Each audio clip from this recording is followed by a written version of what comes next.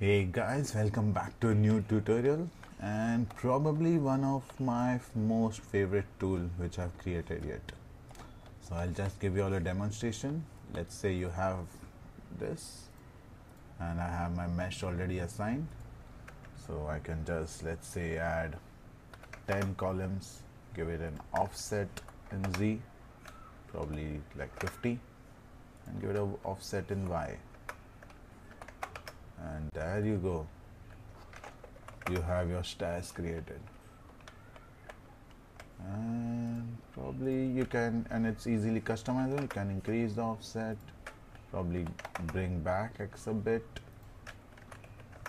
You can even have a slanted slide. Let's say like a minus 30 something like this if that suits you or let's say we have this another mesh again you can change the mesh however you want. And again I've added seven columns. I'll give it an offset of 40 and Z offset of 3 and let's go ahead and add 10 columns and give that an offset of 10 as well probably 20 22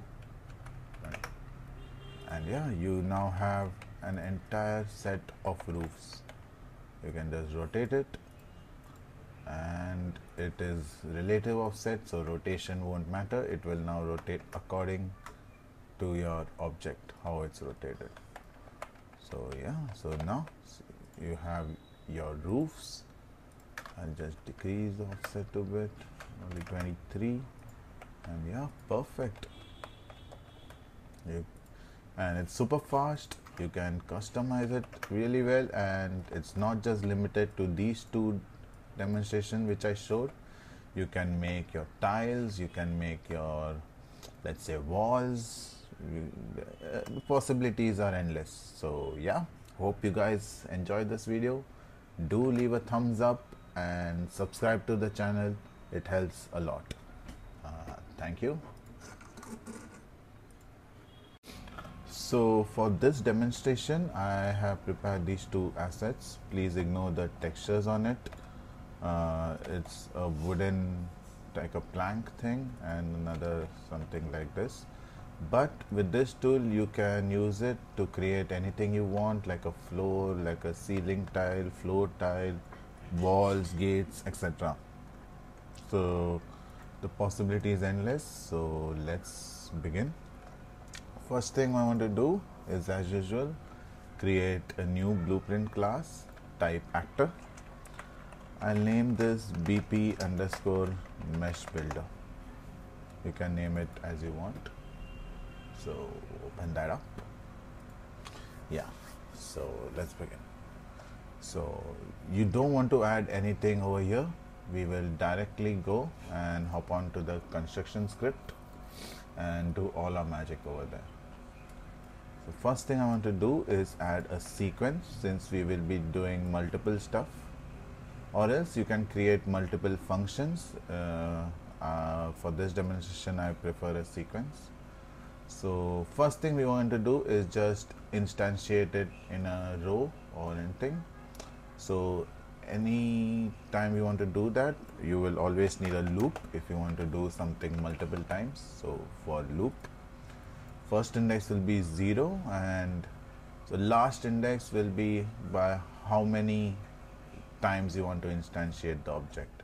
So you just so we want that to be accessible via editor. So just promote it to a variable. We will name it let's say number number of duplicate or no I'll say columns for now just to keep it simple and compile and make it public. And yeah from there next thing we want to do is create a mesh. So add static mesh component. And don't do anything over here yet. Uh, let's go ahead and set this in the editor. So once you're done with that you want to set your static mesh and in your new mesh again promote it to the variable since we want to edit it from the editor.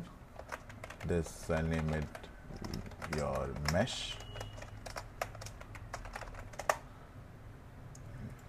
Okay.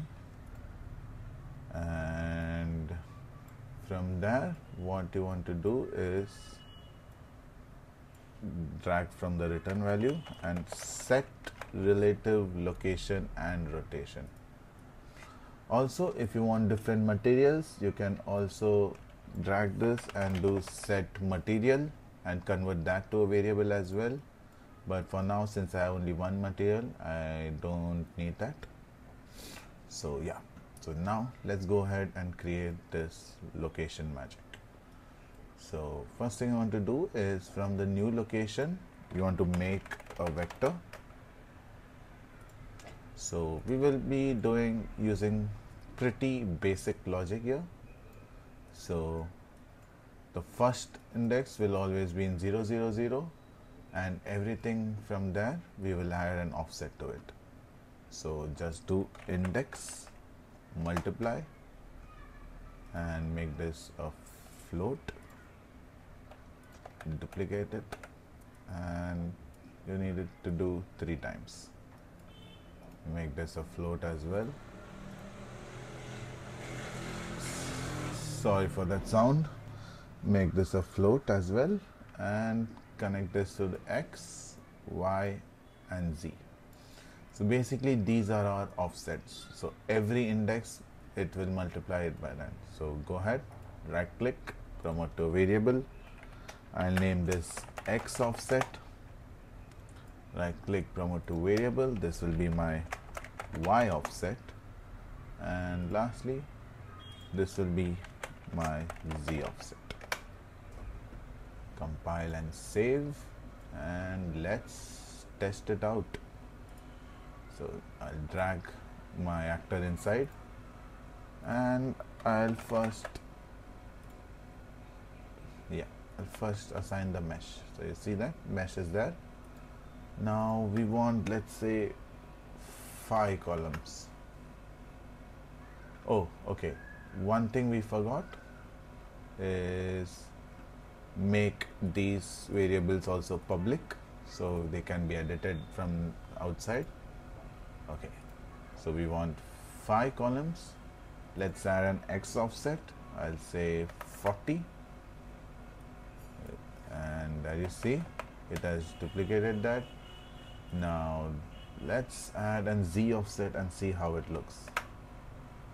So probably 2 and there you go. We already have our tiling. Pretty cool. And probably increase the set a bit more. You can also add some y offset I don't think it will work in this case. Yeah I'll keep that 0 I will duplicate this and let's add our stair tile.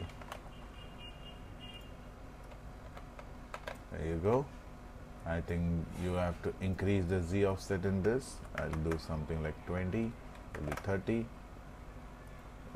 x offset probably 40 and yeah see you have something like your stairs now you can just add as many columns as you want and it will work perfectly well.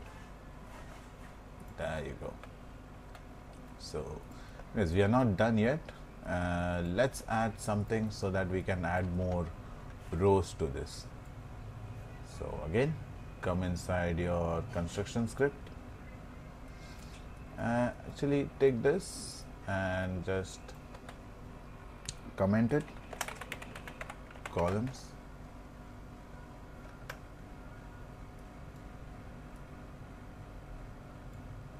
okay.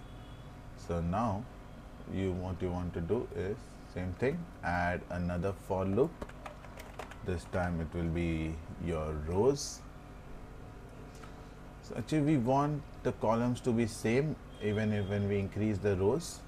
So for that let's again promote the last index to a variable name it rows um, so what I like to do is in every blueprint add categories. So if you just go ahead and rename the default it will add it to a separate category. So I'll add all the variables we just created to a category named column. So whenever you're creating something for editor this is really helpful and also for the rows I'll add it to the rows category. Okay make this public. And from this loop body you want to add another loop. So let's say we have two rows but the columns should remain the same. So columns. And for this the last index will be columns. And from here what you can do is copy all of these. Even copy the make vector. And yeah. Loop. So what you want to do next is uh, the x and z will remain the same. So you can again copy co copy these two values. Connect to x and z and you will multiply it from the columns index index of the column. The y however uh, what we can do is mm, let's see. We can take the index of the row and multiply it but that may cause some problems. Uh, let's try. Anyway let's uh, multiply this convert this to a float and convert this to a variable. I'll name this row offset make it public and category will be rows and connect this to the y. Now let's see. So you have this.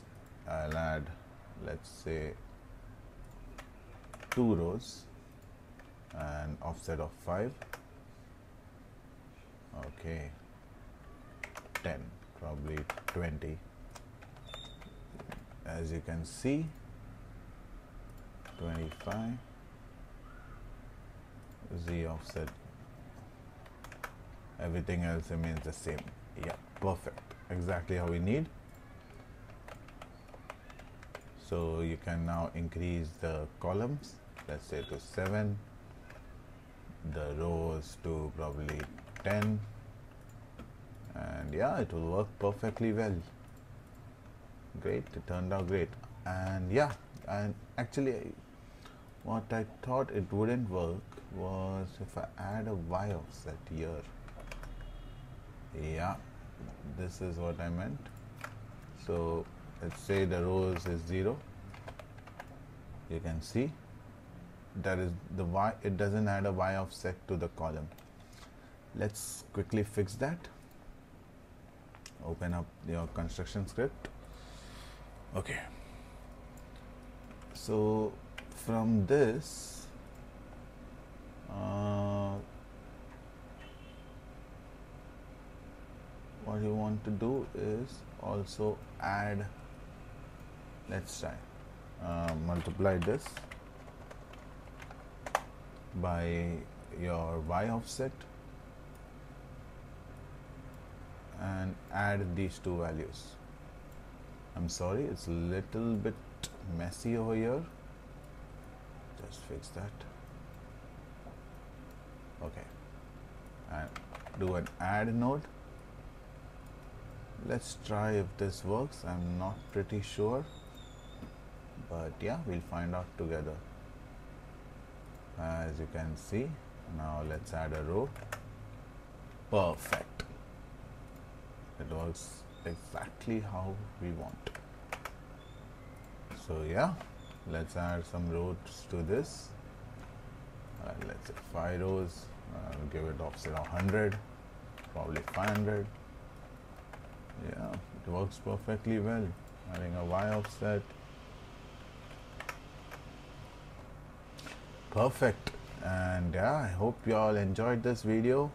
Let me know what you all created using this tool and please subscribe. I'm trying to hit a goal over here. And yeah thanks for all the support till now. Have a great day.